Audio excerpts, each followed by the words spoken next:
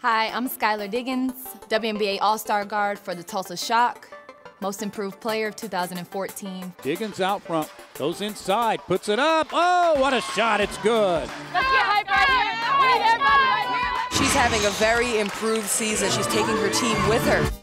I grew up in South Bend, Indiana, home of the Notre Dame Fighting Irish. Skylar Kiara Diggins. Thank you. I graduated from the business school of Mendoza, University of Notre Dame. I did it. I graduated. With the third pick in the 2013 WNBA draft, the Tulsa Shock selects Skylar Diggins. My welcome to the league, if you will. The very first preseason game, and I got popped in the mouth when I had to get stitches at halftime and come back into the game. So, yeah, there you go. If I had to pick a signature move for me, I'm left-handed, so either shooting a floater or getting it high off the glass. Here's Diggins with it, running the other way.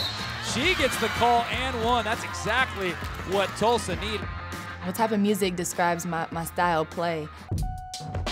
Something finesse, something smooth, probably a nice beat. I think I'm edgy. I got a little spice. I try to stay smooth, try to be the smooth southpaw. So sound and so smooth. I don't know. you